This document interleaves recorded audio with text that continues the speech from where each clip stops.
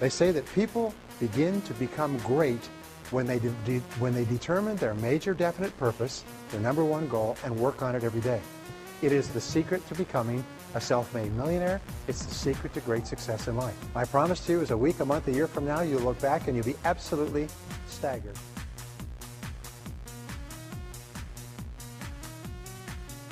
For 24 years of my adult life, by choice, I weighed well over 200 pounds. I say by choice because you see, I have never accidentally eaten anything.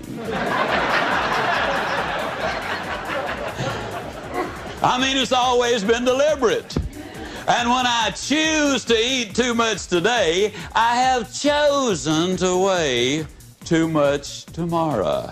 You can choose to set goals and realize your potential, or you can choose not to set them.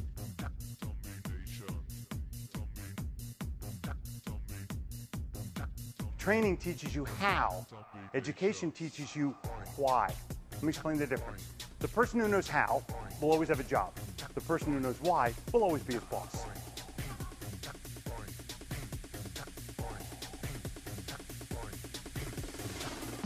You want to become a risk taker. You want to raise the bar on yourself. Most people won't do that. See, most people engage in low life living, low risk living. This God said, if you're not willing to risk, you cannot grow. And if you cannot grow, you cannot become your best. And if you cannot become your best, you can't be happy. And if you can't be happy, then what else is there?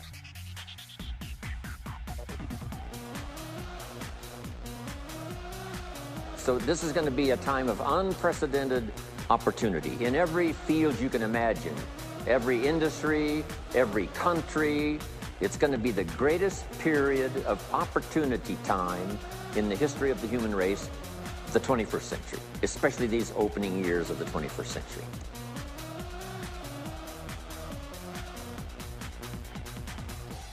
I've found that most people fail in life, not because they aim too high and miss, most people fail in life because they aim too low and hit.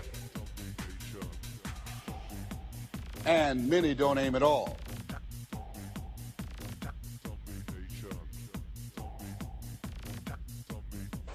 And everything your children will ever be is who they watch, what they look at, what they read, what they hear, and who they emulate as their mentors and celebrity role models.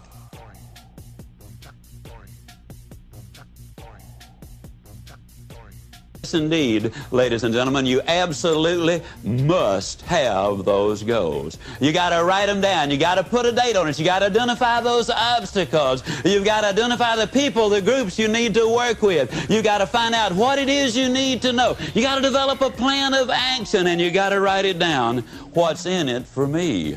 Now, that's the formula that I have just given you, pure and simple. Now, if I were to ask you what 3 times 3 was, there isn't a person here who could not instantly answer it. But if I were to ask you what is 5,128 times 2,165, odds are enormous that very few of you could pop out the answer that quickly.